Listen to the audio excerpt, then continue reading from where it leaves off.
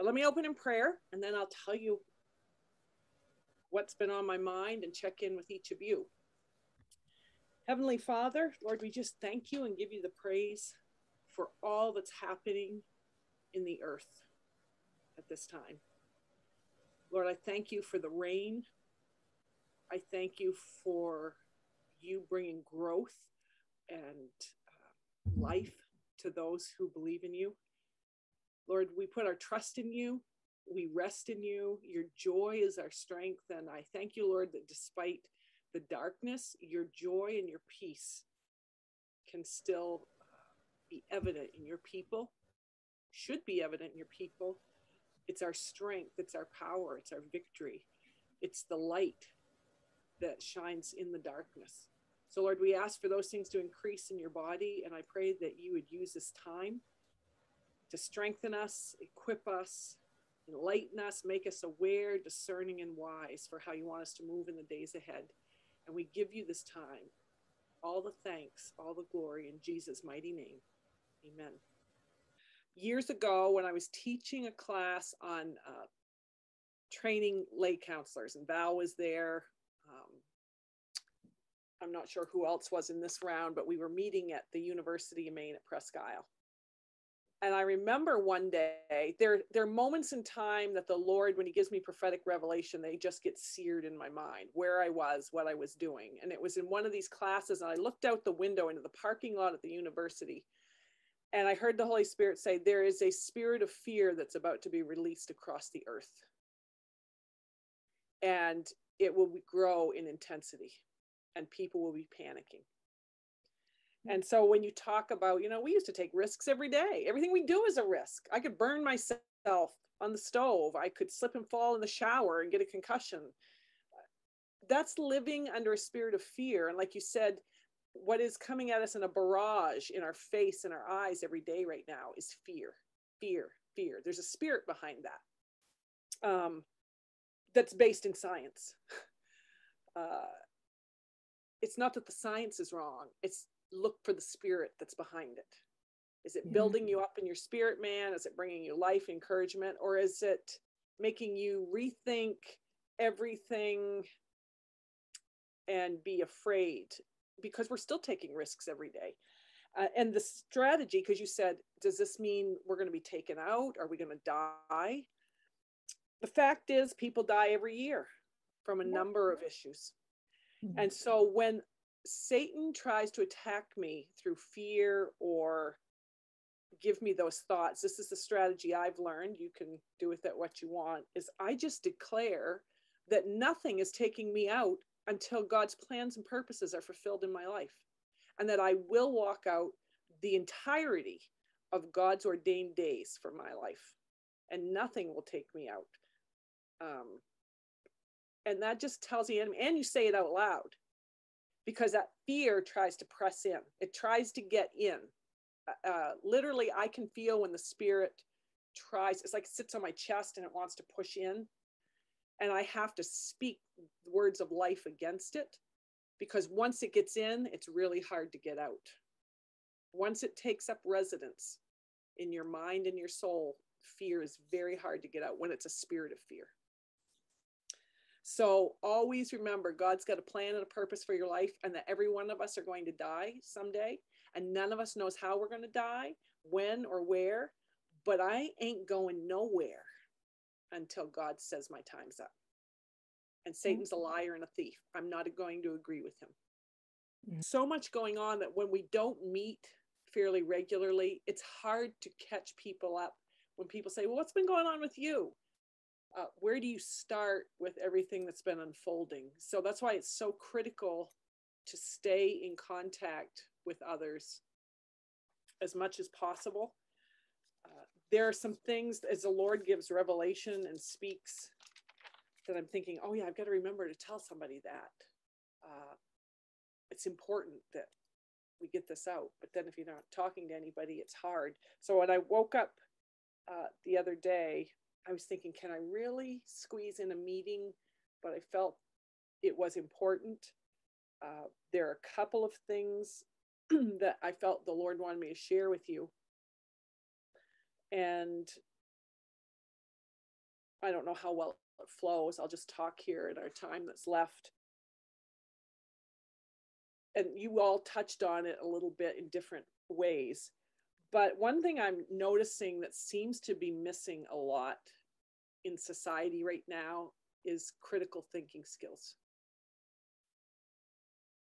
Rational, logical, objective thought, where you're not afraid to look at all sides of an issue. And when I wrote down what is the definition of critical thinking, it's considered the objective analysis and evaluation of an issue in order to form a judgment or conclusion. So it's to be objective and rational and anal- analyze and evaluate whatever the issue is so you can form your own judgments or conclusions. And we may or we may not agree.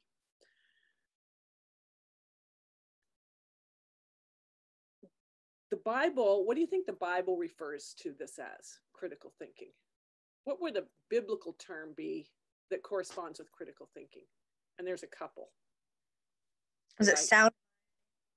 Is that one? Have a sound mind. Yes, that would be a good one. Can you think of anything else? Any other terms where you- you believe the Bible exhorts us to engage in critical thinking? When you said that, I thought of the mind of Christ.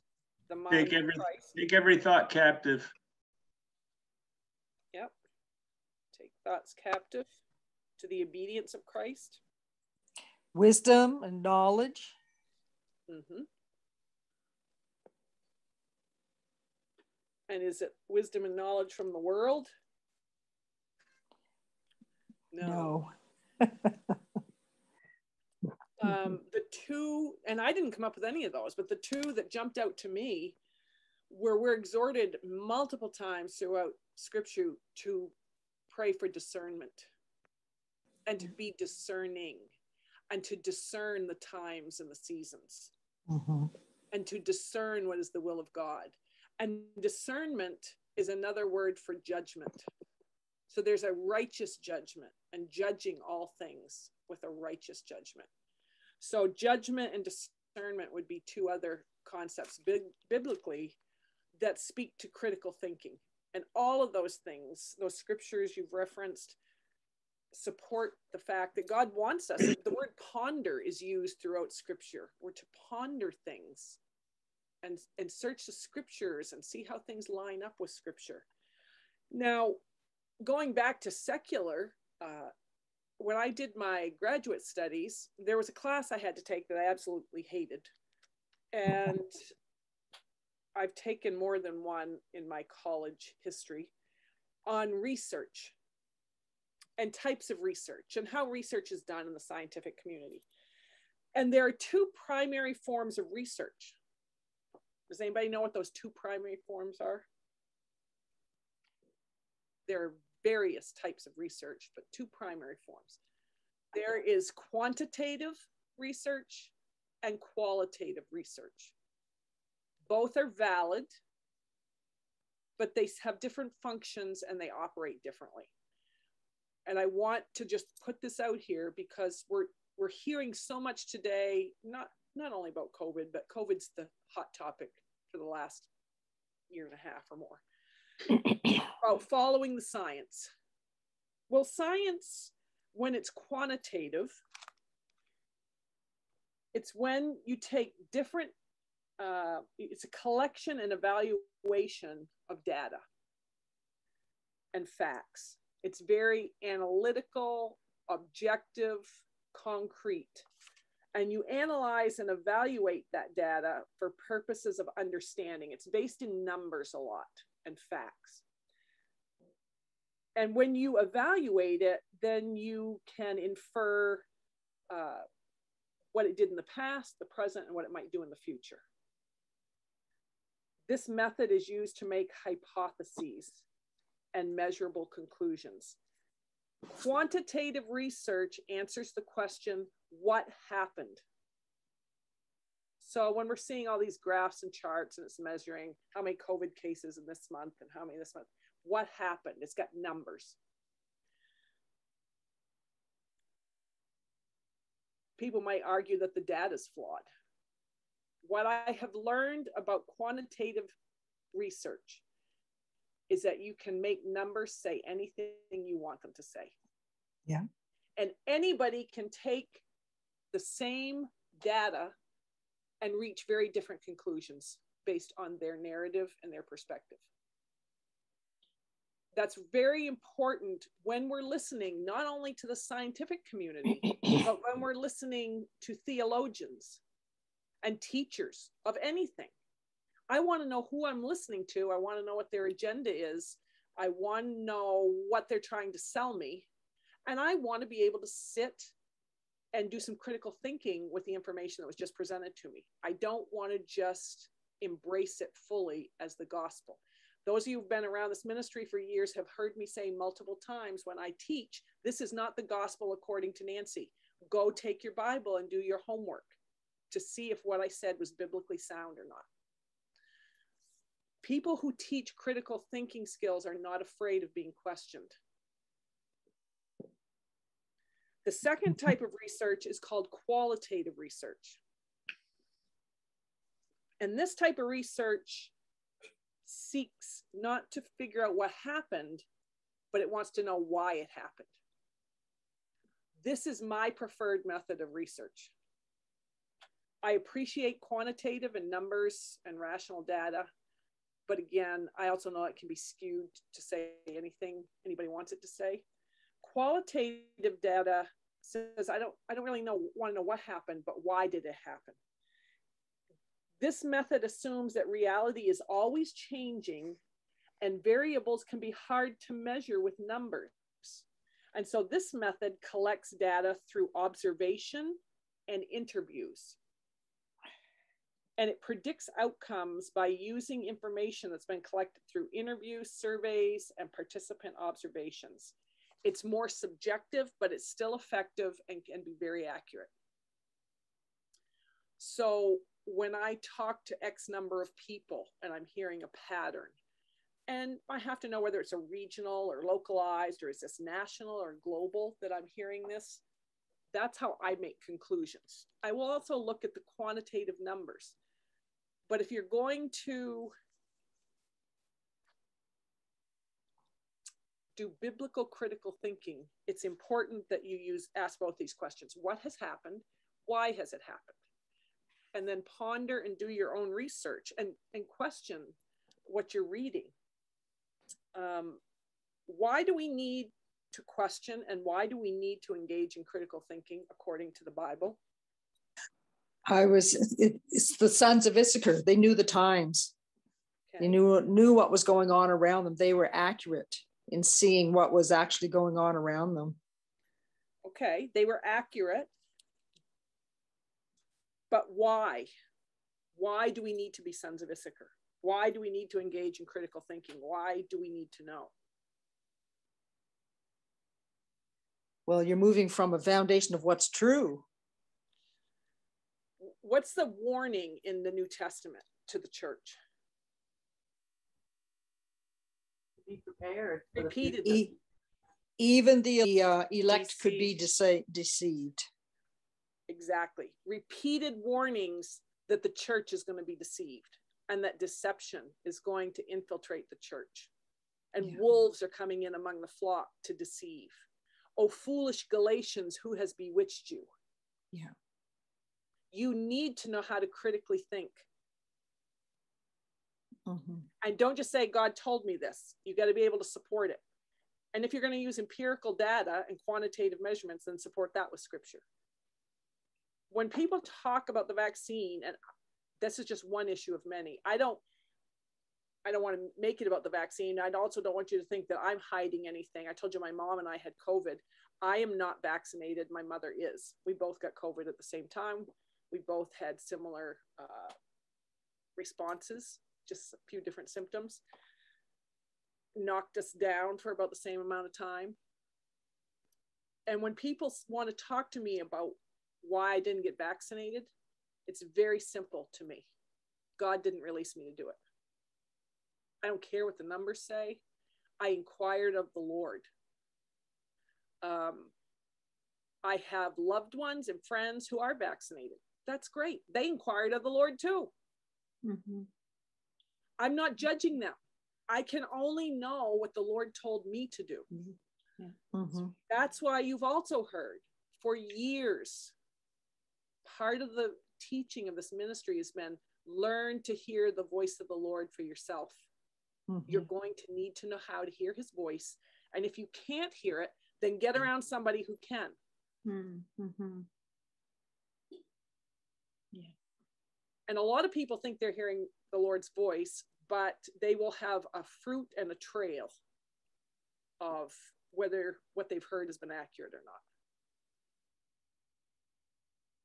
It's going to be critical moving forward that you learn to think critically, but you also know how to discern the voice of the Lord for yourself.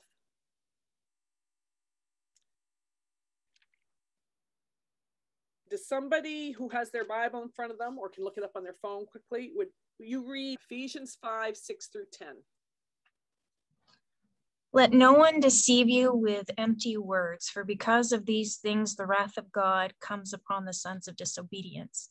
Therefore, do not be partakers with them. For you were form- formerly darkness, but now you are light in the Lord. Walk as children of light. For the fruit of the light consists in all goodness and righteousness and truth, trying to learn what is pleasing to the Lord. That's our charge for the days ahead. Don't be discerned, dis- deceived and learn what is pleasing to the Lord righteousness and holiness and truth. Walk in those things in the days ahead.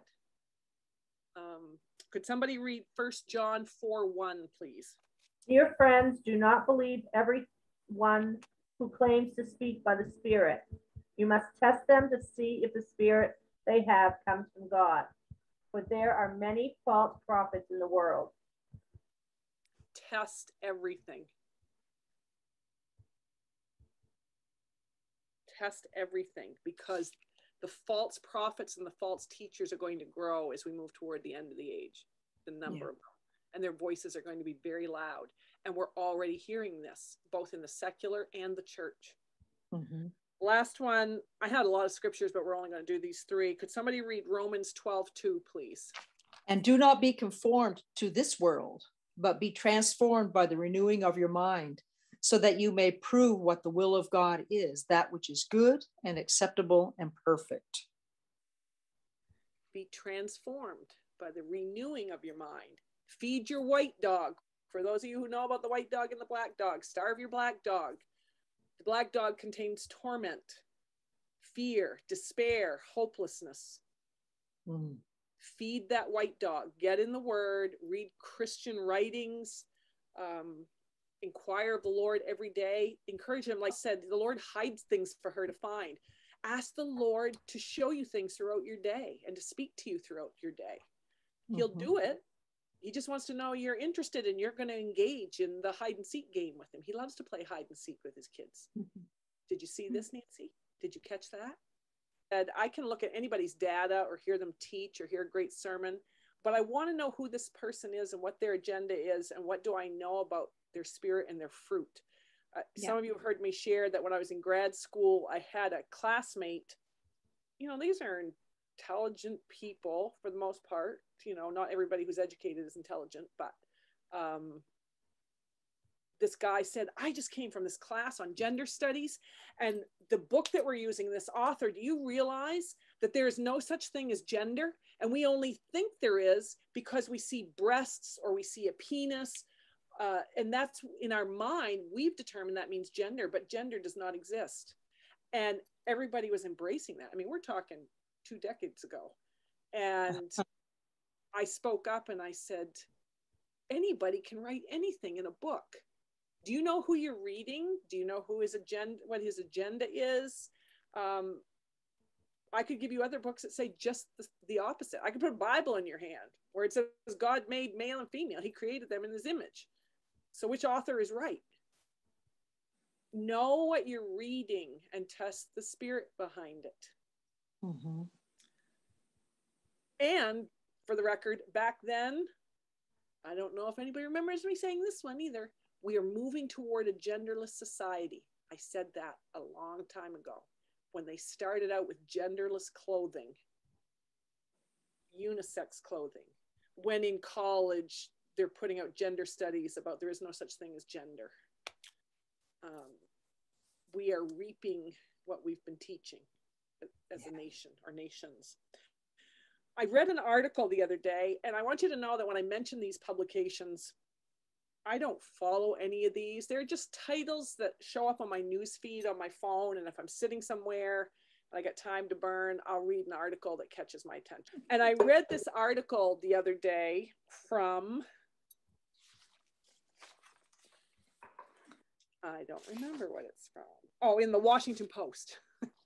don't judge me for that. Um, and it was an article about how we can tell what's real or fake. And I don't know if anybody read it, but I'm going to read you a couple excerpts of it. And the Lord just spoke to me so powerfully through this article. And it was an article written by a, a renowned and respected photographer and photojournalist by the name of Jonas Bendiksen. And he's written this new book called The Book of, I'm not sure how to pronounce this, Veles, V E L E S. And in his book, he's asking us to consider how we know whether something is true and real or fake and a lie. And most importantly, do we care? Do we really care if something is fake as long as it supports our view? and he made the focus of his book on this town of Veles, Macedonia. And in this book, the thing about this book is it's a fabrication. The entire book is fake. And interestingly enough, he did it intentionally to prove a point that has become incredibly urgent to the world right now. He used artificial intelligence along with YouTube and internet research to help him create fake people doing fake things that he could insert into photos from this town in Macedonia. It is a fascinating and terrifying book to read. And it said, but it's not surprising. All of us have been hearing about deep fake videos for quite a while now and fake news. We know that his book about Veles is fake only because he's told us it is but his effort proved embarrassingly effective. He took it to a, I can't find it right here, big photojournalist conference internationally. And everybody that saw it read it and bought it and said, oh, yeah, this is in his style. And uh, they thought it was a great book. And he goes on, uh, the premise says there have always been fakers in the news business. The world is full of people who let their desires and ambitions lead them into lies and fakery. It's unfortunate, but it's true. Happens in the church too, not just the world. We don't have to look very far or even all that hard to find instances of fabrication and photoshopping in the news. Fakery is gripping our national political conversations in both the United States and Canada. It's always been around, but has really amped up in the last few years. If a narrative or perspective doesn't fit into some neat little preconceived idea, then we just label it fake news. And we all know that fake news, that phrase started coming out in 2016 in the US uh, presidential elections. We kept hearing fake news, fake news. And so if we hear something we don't like, we call it fake news. I see it on social media when I'm reading about people talking about COVID and vaccinations. If somebody doesn't agree, they'll just say that's fake news. But interestingly, this book was all about the manufacturing of fake news. And it says this explosion of fake news has been largely fueled by our continual use of social media. Now, says social media has become almost indispensable to our lives over the last few years. From finding lost connections, old friends, to researching buying cars, it's all possible on social media. Social media even promises us that we could get rich if we can get enough followers or generate enough traffic to our sites. I will let you know that I got on social media on Facebook specifically in the last year for when COVID hit, is when I started. And I kept my profile private and don't accept friend requests for the most part. There was a bunch piling up, and I just went through and clicked accept them all. But I don't interact, I don't put anything of my personal stuff up there. And I'm really trying to juggle the this is a platform where you can get the gospel across the world and biblical truths.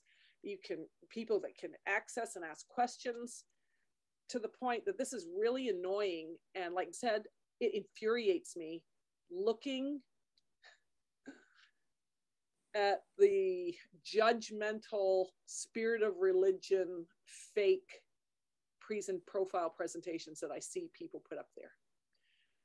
And at least regionally and locally, and sometimes beyond that, even nationally, because I know what I know about things and situations, and because of my age and I've been around the block, I know the facts behind some of these profiles. And what they post is not who they are when you know them privately. Very, very disturbing to me. Um, Fake person.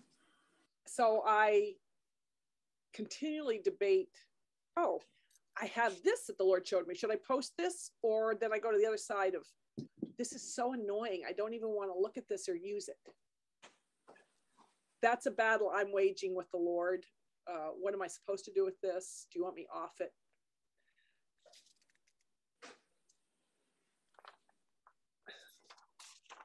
I haven't got an answer yet. But he said this promise that social media holds to us, it was this last little bit of seduction that you could get rich if you get enough followers and traffic and be an influencer. It's that little bit of seduction that took a fairly obscure town in Macedonia and turned it into an epicenter for fake news. That's because this town of Veles in Mas- Macedonia, in the center of the country, was once a prosperous city, but after its industries failed, it became a city racked by poverty. And, and it just had an economic decline. But creating fake news sites that capitalized on the 2016 presidential race gave many people in that town, who were mostly teenagers, a way to pull themselves out of poverty.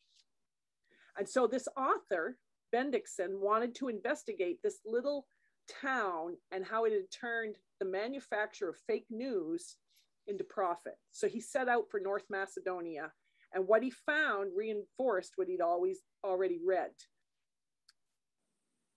that people are being duped with fake news, and it's coming from very credible sounding places.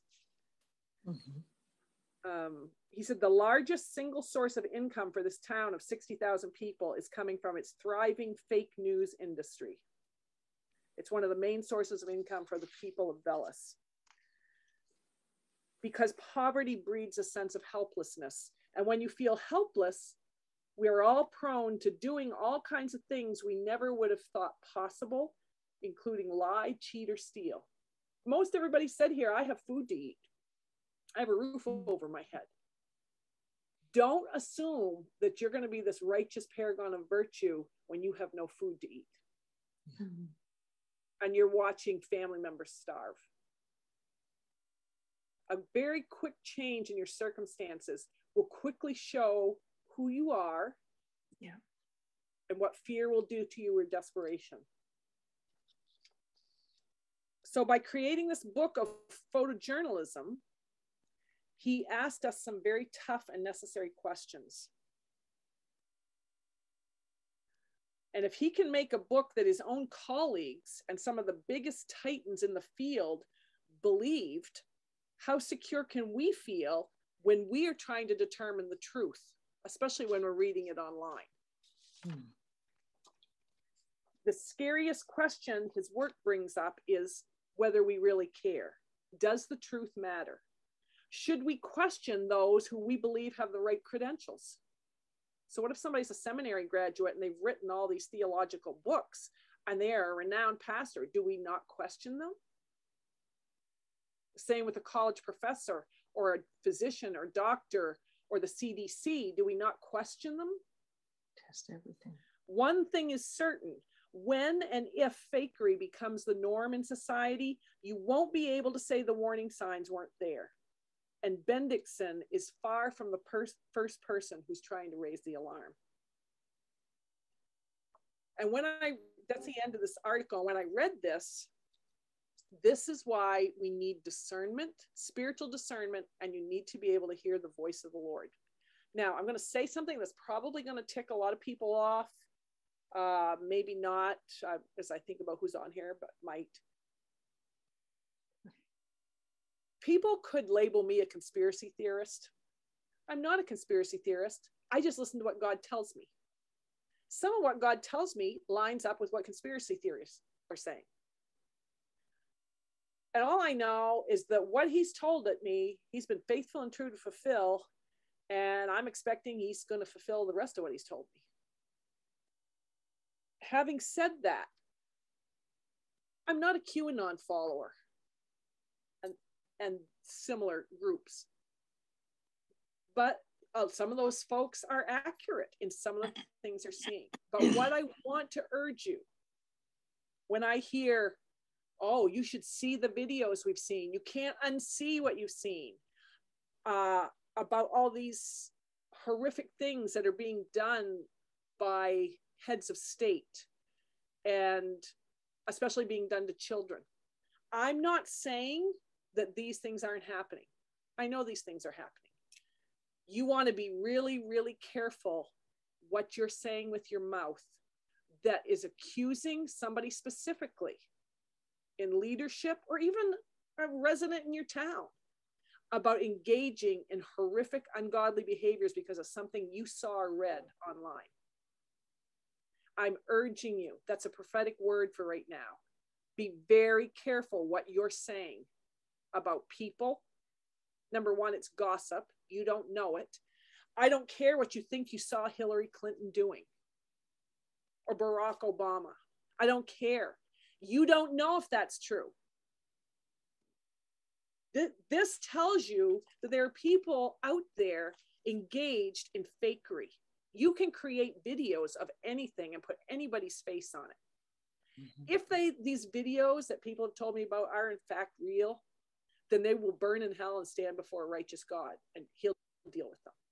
But do I know what goes on behind the closed doors of Donald Trump's house or Hillary Clinton's? No.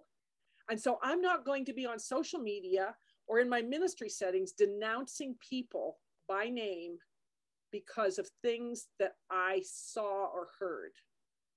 If you, there's a quote if you didn't see it with your own eyes and hear it within your own er- ears, then don't spread it with your big mouth. That's words of wisdom for the days ahead. The reason I say that is this is what God's pushing the church toward right now holiness, integrity, truth. Yeah. Do not let any cat, uh, what's the scripture says we're all going to give an account for every careless word that we've spoken. As we're moving ahead god's tolerance for these types of behavior is getting shorter and shorter. There you will answer for the careless words especially about other people and accusations. Um, in light of that the next question is how should the church respond but before I go there very quickly, I want to tell you about what's happening in the church currently and then leave you with some prophetic insights and then have people please uh, at any point post prayer requests in the chat so we can know how to be praying for you as well. But does anybody have any questions about this when I say this? I do think over here we've got people believing things that aren't true and they're information hounds and trying to gather all this information, which is a sin if you don't know and don't spread all that. But on the other side of the pendulum is the sin where people are naive and have their heads in the sand and don't want to look at it and don't want to believe it's happening. There's some really horrific things happening especially to our children. And that gets me so mad. Don't be naive with your head in the sand because that's a sin too, and you're going to answer for that. Again, inquire of the Lord. What are you supposed to be doing? Where are you supposed to be? You know, saying, hey, God's got me right where I'm supposed to be right now. He knows that He's where He's supposed to be. We all need to know that we're where we're supposed to be, doing what we're supposed to do. Doesn't mean life's all cheery and we don't have some issues, but get yourself positioned for where you're supposed to be right now. And you mentioned about being this road on this road with the ditch. In several of my prophetic dreams over the years, I was driving on a road and my prayer was, God, help me not to go off the road. Keep me right in the center of this road. And all hell was breaking loose around and the road was rumbling and roiling, but he is able to keep us centered. But in Ecclesiastes says two are better than one. Yeah. And a three chord strand cannot easily be broken. You've got to have people around you that you are engaged with on a regular basis. And I have people who are asking me, a number of people are saying they're struggling with certain strongholds or sin issues. And I've had a lot of people say, well, I'm better than I was. I'm doing better than I was. But it's still impacting their lives in a negative way. And so my question is, where are your support people? Where's your accountability team?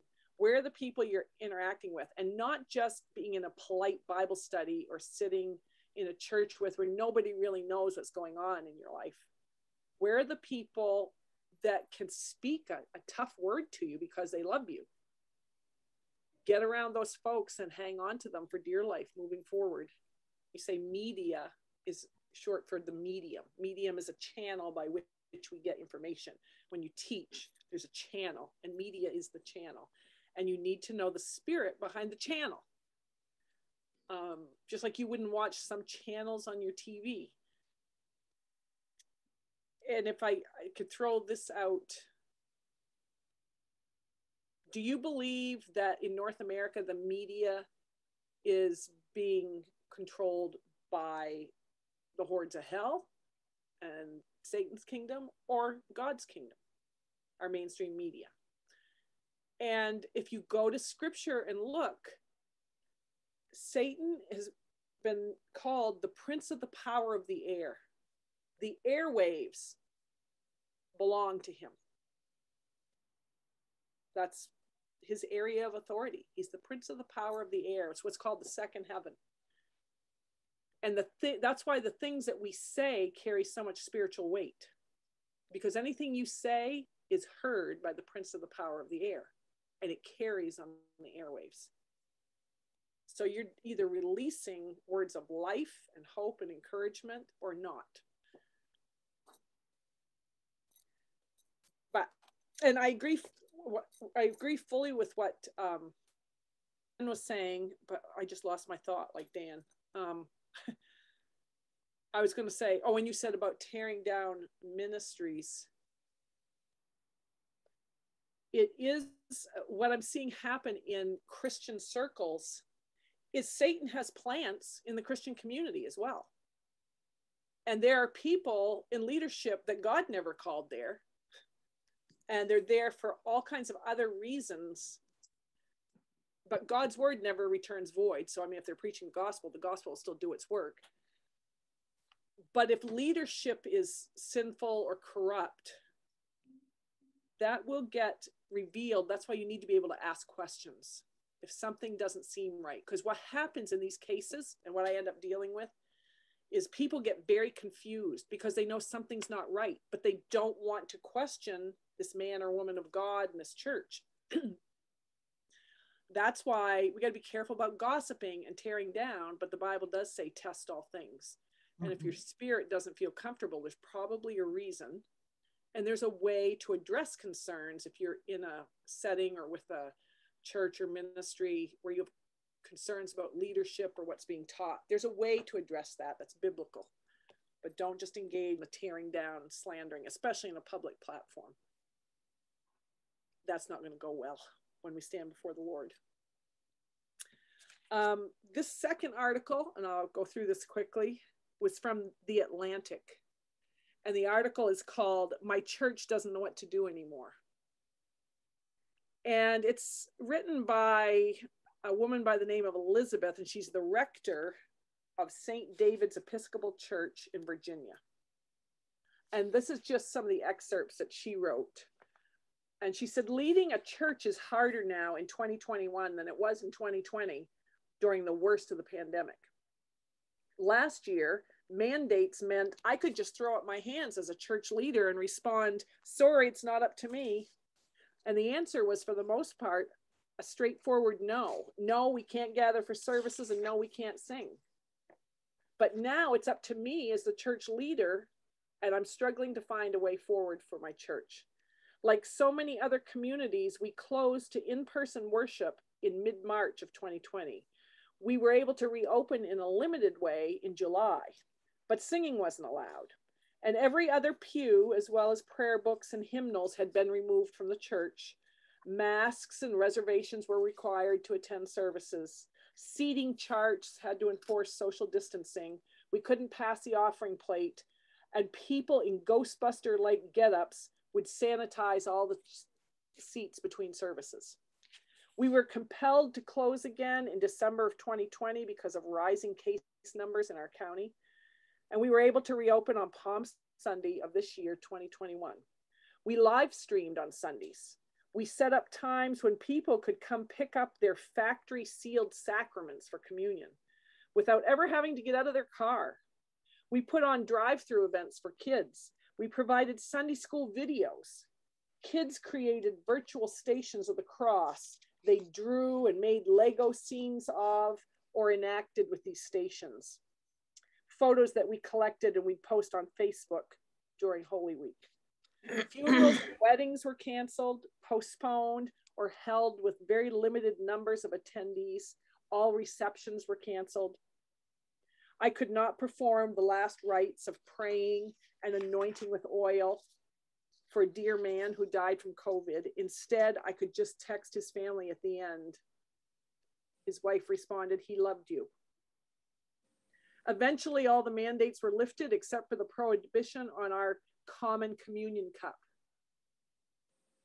By that time, most of the adults in our congregation had been vaccinated, but kids under 12 still couldn't be we put all the chairs back, we opened the windows, and we made masks mandatory for unvaccinated people, and we encouraged them for everyone else.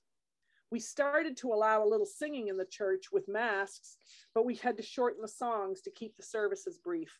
My service sermons were cut back to 1,000 words or less. For mm-hmm. those who were uncomfortable with this, we created a separate seating area in the church hall where masks were cre- required singing was prohibited, and people could watch the live stream sermon projected on a wall. Some families tried that, especially those with young kids, and it worked for a couple of weeks. And then they started asking, why don't you make the people who don't want to wear masks come sit here instead? Because if I'm just going to come to church to sit and watch it live streamed on a wall, I might as well stay home. I don't know how to make this work as a church leader. After a year of trying to assure people that we were still the church, even if we weren't in the same room, I don't know how to convince them of the importance of gathering in person. I know that if they're going to sit home and watch, there are a lot fancier churches all over the country offering much slicker streamed services than our little church with its secondhand camera and duct tape tripod and no matter what we do, it isn't going to work for some of the people. Few families have started attending larger churches that have less restrictive policies. I also know that kids' sports, which are held outdoors, have fewer restrictions than we do, and that returning to a church after 20 months away is getting harder with each passing Sunday. In 2020, nobody could come to church, but now some believers are choosing not to. I can see on social media that many of them are at restaurants or parties, but I don't see them in person on Sunday mornings anymore.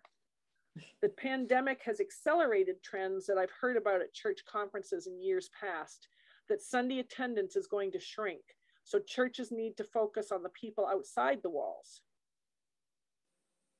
Although membership in our church continued to rise until 2020, attendance has been declining since 2014 interesting. Membership is going up, attendance is going down. Hmm. This year, we're averaging 66 people on a Sunday whenever we're open. Before we shut down, our average attendance was 139. Nobody has complained about the short sermons, but some people are wishing we'd cut more music instead of the Bible readings. And when people complain, they add, but we know you have to do this. But I don't have to in 2021. I'm trying to follow guidance, but the only actual mandate now remaining is on our community, our common communion cup. I can't imagine the drama that will unfold when it's permissible again. Does this mean 2022 will be even harder than 2020 and 2021? Our donations were down last year. I'm wincing as I think about this year's funding campaigns. In 2020, our church received a paycheck protection program loan that helped us with payroll, but my hours have had to be cut.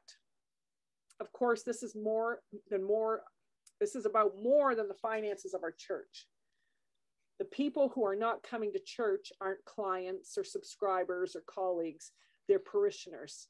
They're part of the church. I've held their hands as they cried after telling me their secrets or while they're grieving but not lately because we can't touch.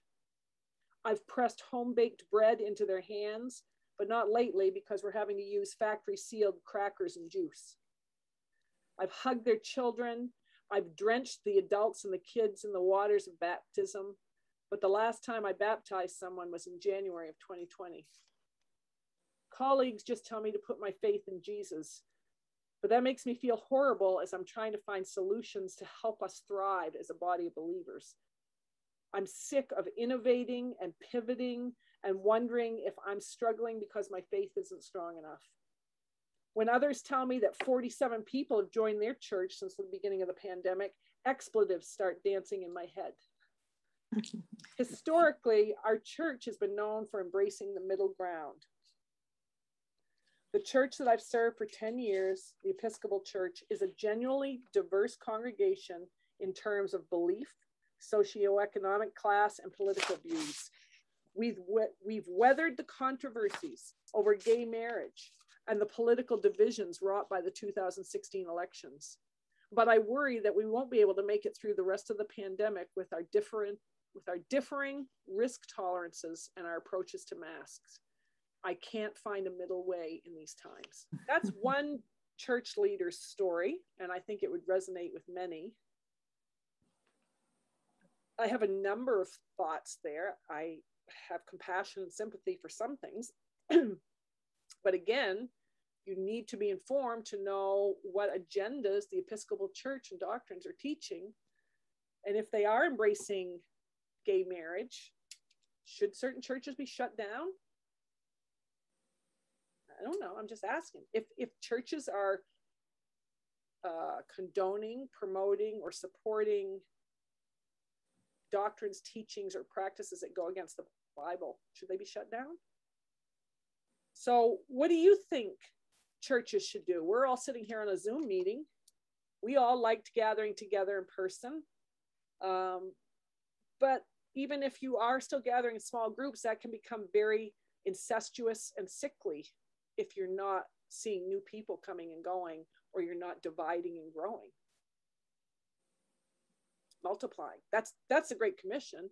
That's discipling is multiplying. So what do you think the church should do moving forward?